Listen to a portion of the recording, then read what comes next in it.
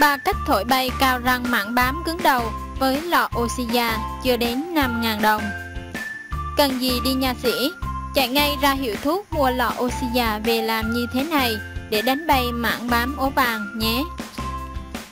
Oxy già hay dung dịch oxy già có tác dụng để sát khuẩn vết thương như làm sạch vết thương, vết lết, rửa miệng trong điều trị viêm miệng cấp và xúc miệng khử mùi, làm sạch ống chân răng.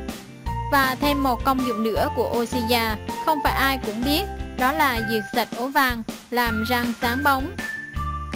Cách 1. Làm trắng răng bằng oxy già và baking soda. Nguyên liệu cần chuẩn bị một lọ oxy già có nồng độ thấp, một thìa baking soda. Cách làm Cho oxy già và baking soda vào một cái bát nhỏ, rồi khuấy đều đến khi thu được hỗn hợp đồng nhất. Cách sử dụng Bàn chải làm ướt bằng nước thường, rồi nhúng vào hỗn hợp và chải răng như bình thường. Bạn đánh răng với hỗn hợp chừng 2 phút thì xúc miệng thật sạch bằng nước rồi đánh lại bằng kem đánh răng như bình thường. Cuối cùng, bạn xúc miệng thật sạch với nước. Áp dụng công thức này hai lần mỗi tuần. Sau một tuần, bạn sẽ thấy cao răng, mảng bám, ố vàng rụng sạch. Răng trắng bóng cùng hơi thở thơm mát. Cách 2. Ngâm bàn chải đánh răng trong oxy già. Cách này cực kỳ đơn giản mà hiệu quả cũng không kém gì cách trên đâu nhé. Bạn đổ oxy già ra một cái chén, rồi ngâm bàn chải đánh răng trong đó chừng một phút, rồi chải nhẹ lên khắp bề mặt răng. Khi đó oxy già sẽ giúp bạn làm mờ các vết ố vàng, vùng răng xỉn màu trở nên sáng hơn. Áp dụng cách này hai lần trên tuần để tránh bào mòn răng, bạn sẽ thấy răng sáng bóng, hơi thở thơm mát. Cách 3. Xúc miệng với oxy già để thực hiện cách này, bạn chỉ cần lấy dung dịch oxy già súc miệng trong vòng 2 đến 3 phút, sau đó súc miệng lại với nước sạch hoặc bằng nước muối sinh lý. Áp dụng cách này hai lần trên tuần nhé. Cảm ơn bạn đã xem video của Sức khỏe tự nhiên. Hãy like, comment và đăng ký kênh bạn nhé. Vì sức khỏe người Việt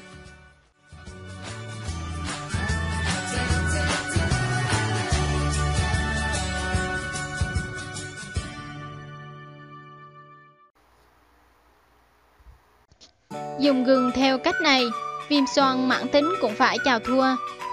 Viêm xoang là một căn bệnh phổ biến bất chấp thời tiết và hàng triệu người trên thế giới phải chịu đựng nó mỗi ngày.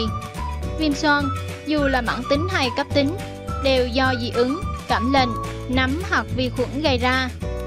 Thuốc tây trị viêm xoang khá đa dạng, nhưng hầu hết đều có tác dụng phụ. Thuộc tính mạnh và độc hại của thuốc còn hành hạ cơ thể hơn cả chính căn bệnh viêm xoang. Do đó, các phương pháp đồng y trị viêm xoang thường được người Việt tin tưởng hơn, chẳng hạn như gừng.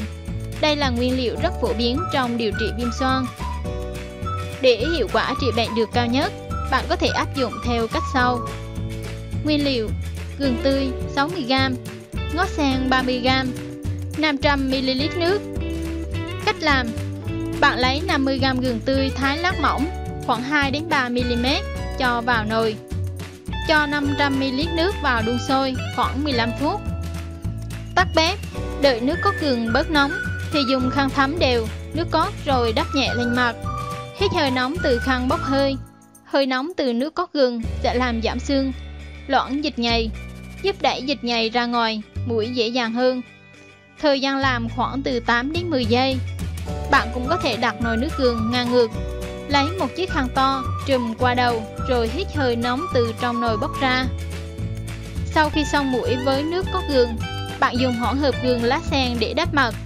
Bạn giả nát 6g gừng tươi, giả nát luôn 30g ngó sen, trộn đều rồi đắp hỗn hợp này vào chăn mày, lên trán, nhưng phải cẩn thận không để dính vào mất, gây hại cho mất. Đắp được khoảng 20 phút, những triệu chứng trên sẽ giảm dần, trán không còn nóng, tăng cảm giác buồn non, do có mũ từ hốc mũi trào vào, khoang miệng và non ra ngoài. Cách này cũng có thể trị viêm mũi dị ứng. Kiên trì sử dụng nước có gừng để xong, rồi dùng gừng và ngó sen để đắp liên tục trong 10 ngày, mỗi ngày hai lần sáng và tối. Sau đó, cách 2 ngày đắp lại một ngày. Sau 30 lần đắp, triệu chứng viêm xoang nặng cỡ nào cũng sẽ khỏi hẳn. Bạn cũng có thể áp dụng cách này cho trẻ nhỏ từ 2 tuổi trở lên, nhưng với liều lượng ít hơn và phải có sự giám sát của người lớn. Chúc cả gia đình bạn luôn khỏe mạnh. Cảm ơn bạn đã xem video của Sức khỏe tự nhiên. Hãy like, comment và đăng ký kênh bạn nhé. Vì sức khỏe người Việt.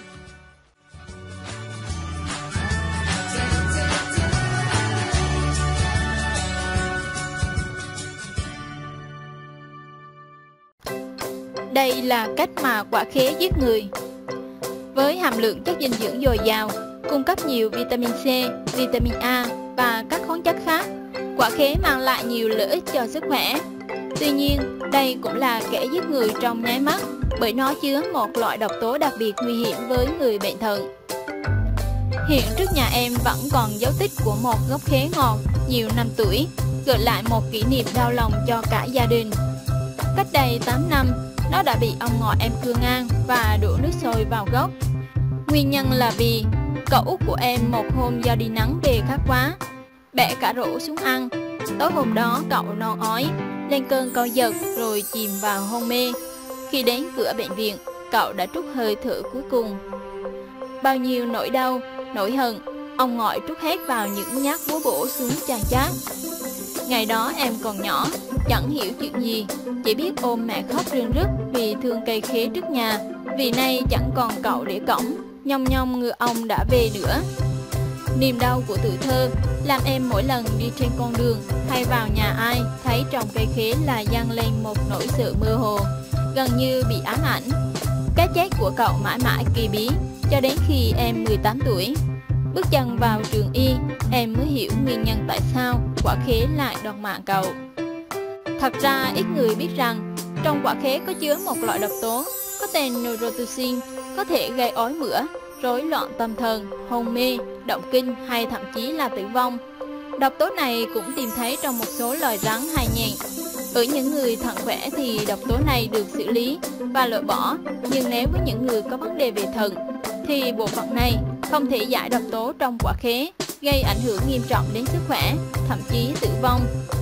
Đây cũng chính là nguyên nhân làm cậu em cấp cứu cũng không kịp vì khi đó cậu đang bị thận ứ nước độ 2. Chỉ 100ml nước khế nguyên chất cũng có thể gây hại cho người bị bệnh thận, chứ đừng nói là một rượu khế. Nay em kể chuyện nhà, khơi lại chuyện buồn với mong muốn, nếu nhà ai có người bị bệnh thận, tuyệt đối đừng cho họ ăn khế. Cảm ơn bạn đã xem video của Sức khỏe tự nhiên. Hãy like, comment và đăng ký kênh bạn nhé. Vì sức khỏe người Việt.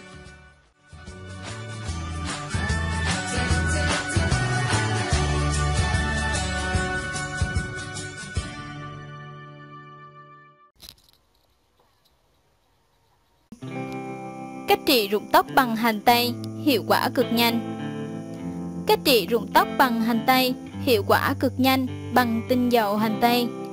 Chà trực tiếp hành tây hoặc kết hợp với mật ong, rượu, chữa tận gốc bệnh rụng tóc ở phụ nữ sau khi sinh, giúp mái tóc đẹp bồng bềnh.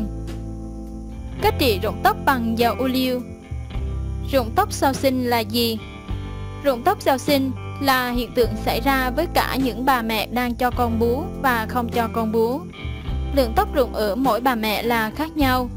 Thường thì rụng nhiều ở tháng đầu và giảm dần sau 1 đến 3 tháng. Tuy nhiên, nhiều bà mẹ có thể bị rụng tóc kéo dài lâu hơn nếu không biết cách chăm sóc tóc. Rụng tóc ở những bà mẹ sau sinh thường rụng ở đỉnh đầu. Tóc mỏng dần đi và rụng nhiều khi bạn chải dầu ướt. Da đầu thường yếu và nhờn hơn sau khi sinh con. Lượng tóc rụng có thể tới 20 đến 30% tóc. Thông thường, rụng tóc sau sinh sẽ kéo dài từ 5 đến 6 tháng. Tuy nhiên, nhiều bà mẹ tóc rụng kéo dài và không có dấu hiệu ngừng rụng đã ảnh hưởng rất nhiều đến thẩm mỹ cũng như tâm lý của các bà mẹ. Vì sao các mẹ hay bị rụng tóc sau khi sinh em bé? Có rất nhiều nguyên nhân dẫn đến tình trạng rụng tóc sau sinh. Tuy nhiên, nguyên nhân chủ yếu là do thay đổi nội tiết. Phụ nữ sau sinh thường bị giảm estrogen quá thấp. Đây là nguyên nhân khiến tình trạng tóc phát triển chậm và rụng nhiều. Do rối loạn tâm lý.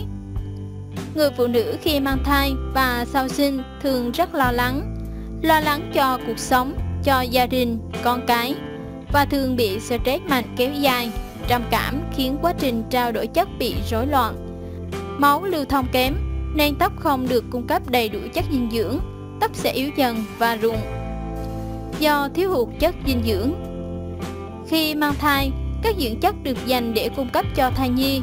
Sau khi sinh con, lại tiếp tục tập trung dưỡng chất cho bầu sữa nên dẫn đến tình trạng cơ thể thiếu hụt dinh dưỡng khiến tóc không nhận được đầy đủ dưỡng chất từ máu nên tóc dễ hư tổn và nhanh rụng. Mức độ rụng tóc sau sinh ở mỗi phụ nữ là khác nhau, phụ thuộc vào lượng hormone nữ trong cơ thể tăng hay giảm. Nếu lượng hormone tăng thì tóc ít rụng hơn. Ngược lại, hormone ít, tóc rụng nhiều hơn. Tình trạng này sẽ trở lại bình thường khi hormone này ổn định. 6 công thức chữa rụng tóc từ hành tây Hành tây chính là một loại thực phẩm mà bất cứ bà nội trợ nào cũng biết. Thế nhưng không phải ai cũng biết rằng, ngoài việc là một loại thực phẩm rất tốt cho cơ thể, hành tây còn có tác dụng chữa rụng tóc rất hiệu quả nhờ hàm lượng lớn lưu huỳnh có trong nó. Chính vì điều này nên có rất nhiều bài thuốc chữa rụng tóc từ hành tây mà bạn cần phải lưu giữ cho mình nếu muốn được sở hữu mái tóc đẹp. Dưới đây chính là những cách trị rụng tóc hiệu quả mà hành tây mang đến. Hãy cùng tham khảo và áp dụng nhé các bạn. Vì sao hành tây trị rụng tóc? Tùy thuộc vào lượng lưu huỳnh trong cơ thể mà da, tóc và móng sẽ khỏe hay yếu. Ví dụ, khi tóc được cấp đủ lượng lưu huỳnh thì chúng sẽ bóng khỏe và phát triển tốt hơn. Khi da khô, móng yếu và tóc dễ gãy rụng là lúc cơ thể không có đủ lượng lưu huỳnh cần thiết. Hoặc những dấu hiệu khác như bạn thường cảm thấy mệt mỏi hơn trước, đau đầu, dị ứng. Nếu bạn không duy trì một chế độ ăn phù hợp thì cơ thể bạn không thể hấp thụ đủ lượng lưu huỳnh cần thiết. 1. Chữa rụng tóc bằng sát hành tây trực tiếp lên da đầu Nếu bạn bị rụng tóc nhiều trong thời gian gần đây, cách dễ dàng và đơn giản nhất để tóc khỏe và mọc trở lại đó là sử dụng hành tây đắp lên da đầu. Một nghiên cứu được công bố vào năm 2002 trên tờ Dermatology Journal đã cho thấy rằng tác động của hành tây ngăn chặn tóc rụng rất tốt. 73% những người đã thử phương pháp tóc rụng của họ đã mọc trở lại và bóng khỏe hơn. Hoặc bạn có thể sử dụng hai cốc rưỡi hành tây và đun sôi, sau đó để nguội trong vòng 50 phút. Sau đó sử dụng dịch này dội lên tóc trước rồi gội đầu lại bằng dầu và nước như bình thường, rồi lau khô tóc nhẹ nhàng với khăn bông. 2. Hành tây và rượu Thái hành tây thành từng khúc và băm nhỏ, bỏ thêm một chút rượu rum và để như vậy trong vòng 24 giờ. Sau đó lọc lấy nước từ hỗn hợp trên để sử dụng xoa bóp trên da đầu. 3. Hành tây và lá cây tầm gai trị rụng tóc chọn nửa cốc hành tây băm nhỏ với nửa cốc lá cây tầm gai phơi khô. Thêm vào một chút vodka. chọn hỗn hợp này để vài ngày, ép lấy nước và cũng sử dụng massage trên da đầu. Bón Hành tây và thìa mật ong nguyên chất chọn 1 phần tư cốc nước ép hành tây với một thìa mật ong nguyên chất. Sử dụng hỗn hợp này thoa lên da đầu hàng ngày. Thái hành tây thành từng khoanh và băm nhỏ rồi thêm một chút rượu vào để như vậy trong vòng 24 giờ. 5. Nước ép hành tây Chọn một củ hành tây để ép lấy nước nguyên chất, sau đó bôi lên da đầu và để trong khoảng 15 phút, rồi rửa sạch với dầu gội nhẹ hoặc sử dụng hai cốc rưỡi hành tây và đun sôi, sau đó để nguội trong vòng 50 phút. Sau đó dùng dịch này dội lên tóc trước rồi gội đầu lại bằng dầu gội và nước như bình thường. 6 cách trị rụng tóc bằng tinh dầu hành. Cắt nhỏ một củ hành tây, ngâm vào trong chai dầu ô liu khoảng 3 tuần. Sau đó lọc bỏ bã, bạn sẽ có sản phẩm tinh dầu hành rất an toàn. Trộn hỗn hợp 30g dầu ô liu và hành, 30g tinh dầu hoa hồng, 30g sáp ong. Đun nóng hỗn hợp trong lò vi sóng cho tới khi sáp ong tan chảy. Bắt ra và trộn thêm 2 muỗng cà phê gel lô hội. Cuối cùng, trộn thêm 4 viên nang vitamin E, khuấy đều và để trong một lọ rộng miệng để dùng dần. Hoặc muốn tiết kiệm thời gian và đơn giản hơn thì bạn chỉ ép dầu hành tây lấy nước cốt, cho vào tủ lạnh rồi bôi lên da mỗi ngày. Công dụng làm đẹp từ hành tây Những nghiên cứu gần đây cho thấy các thành phần có trong hành tây có khả năng ngăn ngừa rụng tóc và kích thích tóc mọc nhanh. Không chỉ vậy, hành tây có thể khắc phục gầu, nấm và những vấn đề khác của mái tóc. Đồng thời, hành tây cũng giúp làm đẹp da, trị mụn hiệu quả. Trị gầu Nước ép hành tây có thành phần lưu huỳnh, một chất thường xuất hiện trong các loại sản phẩm hạt trị gầu. Do đó, thay vì dùng các sản phẩm đắt tiền, bạn có thể dùng nước ép hành tây massage da đầu từ 15 đến 20 phút. Xả sạch với nước ấm rồi gội đầu bình thường. Trị mụn Đối với những nốt mụn xuất hiện khi kỳ nguyệt sang đến gần, thì nước ép hành tây là một loại thuốc bôi giúp làm cho mụn xẹp đi nhanh chóng. Thành phần lưu huỳnh trong hành tây không chỉ giúp khoáng khuẩn hiệu quả mà còn ngăn ngừa nốt mụn bị viêm nhiễm. Các chuyên gia khuyên dùng nước ép hành tây pha với nước chanh theo tỷ lệ 1-1 và chấm lên các nốt mụn xương đỏ sau khi rửa mặt sạch để làm xẹp nốt mụn nhanh chóng. Trị tóc gãy rụng Những nghiên cứu gần đây cho thấy các thành phần có trong hành tây có khả năng ngăn ngừa rụng tóc và kích thích tóc mọc nhanh. Không chỉ vậy, hành tây có thể khắc phục gầu, nấm và nhiều vấn đề khác của mái tóc. Hành tây cũng là loại mỹ phẩm xanh hiệu quả để ngăn ngừa tóc rụng hiệu quả. Vì đặc tính khá khuẩn có trong hành tây cũng giúp điều trị bệnh nhiễm vùng da đầu và tóc da nấm. Hơn nữa, hành tây có chứa hàm lượng lưu huỳnh phong phú và đó là loại dưỡng chất tuyệt vời dành cho tóc mỏng. Thường xuyên bôi nước ép lên da đầu và tóc, mái tóc mỏng sẽ trở nên dài hơn. Hành tây cũng có khả năng giúp ngăn ngừa mái tóc bị xỉn màu. Bạn có thể ăn hành tây hay bôi trực tiếp nước ép hành tây lên tóc. Cảm ơn bạn đã xem video của Sức khỏe tự nhiên. Hãy like, comment và đăng ký kênh bạn nhé. Vì sức khỏe người Việt.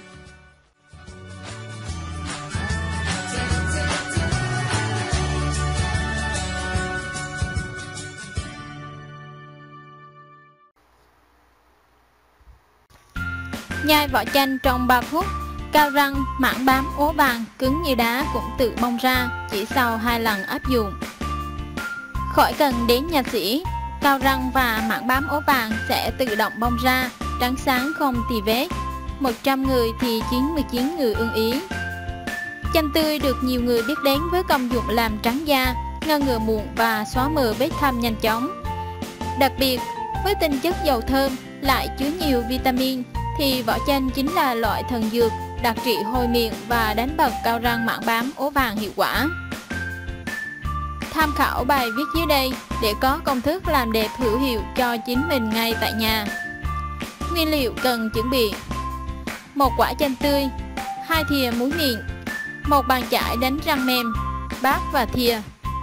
Cách làm Chanh tươi đem rửa sạch nhiều lần, rồi tiến hành ngâm trong dung dịch nước muối pha loãng chừng 10 phút. Dùng dao gọt hết toàn bộ lớp vỏ xanh bên ngoài, rồi cho vào một chiếc bát nhỏ. Trộn đều hai thìa muối mì, một thìa nước cốt chanh trong khoảng 1 phút, ta sẽ thu được hỗn hợp đồng nhất. Cách dùng. Bước 1 Để loại bỏ cao răng, mảng bám ố vàng nhanh chóng, thì trước hết bạn dùng nước ấm xúc miệng nhiều lần, rồi dùng bàn chải nhúng đều vào hỗn hợp muối và nước cốt chanh. Bước 2 Tiếp đó, bạn dùng hỗn hợp trên chả đều từ trong ra ngoài, từ trên xuống dưới, giúp các dưỡng chất hấp thụ một cách triệt để. Bước 3. Thực hiện thao tác này lặp đi lặp lại trong khoảng 1 đến 2 phút, rồi dùng nước sạch súc miệng như bình thường. Bước 4. Hoàn thành xong, bạn dùng vỏ chanh bào nhuyễn vừa chuẩn bị cho vào miệng rồi nhai thật kỹ trong khoảng 3 phút. Với phương pháp này, bạn nên áp dụng thường xuyên mỗi ngày một lần vào các buổi sáng hoặc tối trước khi đi ngủ. Nó không những giúp hơi thở thơm tho, mặt khác đánh bật cao răng cứng đầu và trả lại hàm răng trắng bóng tự nhiên. Lưu ý nhỏ nhỏ Để đạt hiệu quả tối ưu, bạn nên thực hiện liên tục. Ngoài ra, cũng cần hạn chế sử dụng những loại thực phẩm có chứa các chất kích thích độc hại như rượu, bia, thuốc lá hay những nguyên liệu tối màu. Trên đây là toàn bộ những gì mà chúng tôi muốn chia sẻ đến các bạn. Hy vọng với vài mẹo nhỏ sẽ giúp mọi người có được hàm răng trắng bóng mà không cần tới nhà sĩ cho tốn kém. Chúc các bạn thành công! Cảm ơn bạn đã xem video của Sức khỏe tự nhiên. Hãy like, comment và đăng ký kênh bạn nhé. Vì sức khỏe người Việt.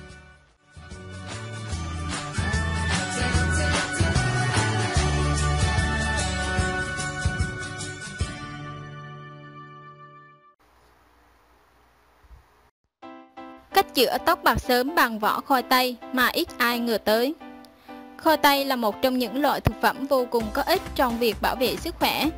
Với hàm lượng dinh dưỡng cao, khoai tây rất được sự ưa thích của nhiều người. Có rất nhiều người khi sử dụng khoai tây đều bỏ vỏ. Nhưng bạn có biết rằng vỏ loại này có khả năng giúp chữa tóc bạc sớm hay không? Qua bài viết này, chúng tôi sẽ chỉ cách chữa tóc bạc sớm bằng vỏ khoai tây. 1. Thành phần 250g vỏ khoai tây 500ml nước sạch Để có 250g vỏ, bạn cần chọn khoảng 5 củ khoai tây lớn. Để đảm bảo an toàn, không hóa chất, hãy mua chúng trong siêu thị.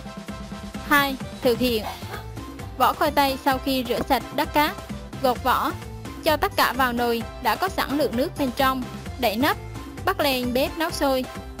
Đừng tắt bếp vội nhé, khi nước sôi, hãy giảm lửa và nấu thêm 5 phút để các chất làm đen tóc trong vỏ khoai tây tiết ra rồi tắt bếp. Để nguội và lọc lấy nước cho vào chén. 3.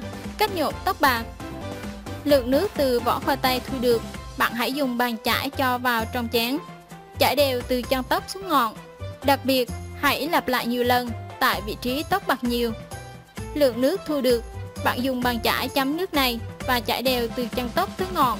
Lặp lại nhiều lần tại các vị trí bị tóc bạc nhiều. Công thức này hoàn toàn an toàn, tự nhiên. Vậy tại sao bạn không thử ngay hôm nay? Lưu ý, không xả lại với nước mà để khô tự nhiên. Trước khi thực hiện, hãy gội đầu thật sạch và khô tóc để công thức này phát huy công dụng hiệu quả. Tuy nhiên, để tốt nhất, bạn nên áp dụng 2 đến 3 lần mỗi tuần. Duy trì liên tục cho đến khi nào bạn cảm thấy hài lòng nhất thì ngừng lại. Đây là phương pháp mà ít ai có thể nghĩ tới. Bạn có thể nhưng mà chúng thật là dự kỳ. Ngoài phương pháp này ra, còn rất nhiều phương pháp khác mà bạn cần biết, mà vô cùng hiệu quả.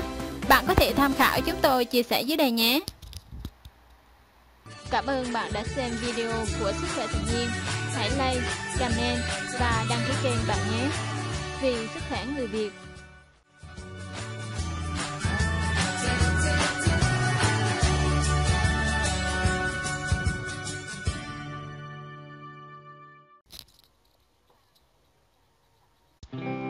Cho mì chính vào món ăn. Hãy tiếp tục nếu muốn đùa giỡn với tính mạng của bạn và gia đình. Khá nhiều dịch vụ ăn uống sử dụng mì chính đánh lừa miệng của khách hàng. Trong khi đó, tác hại từ việc sử dụng mì chính quá liều rất khó lường và tổn thương não bộ ghê gớm. Mì chính hay còn gọi là bột ngọt giúp thức ăn trở nên ngọt ngào, hấp dẫn hơn, nhưng bản thân nó không hề có giá trị dinh dưỡng, thậm chí còn gây hại nếu lạm dụng quá mức. Theo thạc sĩ Lưu Thủ Nghị, Đại học Nam Lâm, thành phố Hồ Chí Minh, mì chính là muối của axit glutamic, rất có tác dụng trong việc truyền tín hiệu của thần kinh. Dùng nhiều mì chính sẽ gây rối loạn hoạt động của não, mất trí nhớ, làm tiêu hao B6, dễ gây những cơn động kinh. Phó giáo sư tiến sĩ Nguyễn Nhi Thịnh, Viện Công nghệ Sinh học và Thực phẩm, Đại học Bách khoa Hà Nội cũng cho rằng Dùng quá nhiều mì chính sẽ gây rối loạn hoạt động não, dẫn đến suy thoái não. Chưa kể gan và thận do phải làm việc cật lực để phải hồi độc chất axit amin có trong mì chính, dẫn đến sự suy yếu và gây nhiều rối loạn. Ăn quá nhiều mì chính còn gây ra các triệu chứng như nóng rang sau gáy, choáng váng, nhức đầu, khô cổ, nhiều đờm, khó chịu. Các cơn hen có thể xuất hiện khoảng 12 giờ sau khi dùng mì chính nhiều người sau 30 phút sử dụng quá nhiều mì chính sẽ gây nên cơn trầm cảm với nhiều biểu hiện khác nhau như căng thẳng, hoa mắt, nhức đầu, buồn non, đau bụng, ủ rũ, những cơn bốc nóng sau gáy bất thường. Ngoài ra, những người có thể trạng nhạy cảm hay bị nhức đầu, đỏ mặt, đau gáy, nôn mửa, người mắc bệnh hen suyễn, cao huyết áp, thận, tim và trẻ em không nên sử dụng mì chính vì cơ thể sẽ có những diễn tiến xấu với những người mắc bệnh lý nói trên sẽ khiến bệnh nặng hơn. Còn với trẻ em ăn mì chính sẽ làm thay đổi khẩu vị và gây nghiện mì chính khi không có gia vị này. Trẻ sẽ không ăn, vô tình gây độc cho não của các bé. Ngoài ra, với các món chua, món ngọt không nên cho mì chính sẽ làm mất độ chua, độ ngọt đúng vị của món ăn. Cũng không nên dùng mì chính với các món trứng vì trong trứng có nhiều bọt và khi kết hợp với muối natri clorua rồi đun nóng sẽ tạo ra thứ mì chính tinh khiết, giúp trứng có hương vị thơm ngon. Do đó, cho mì chính vào trứng sẽ gây nên tình trạng thừa mì chính và gây hại cho sức khỏe.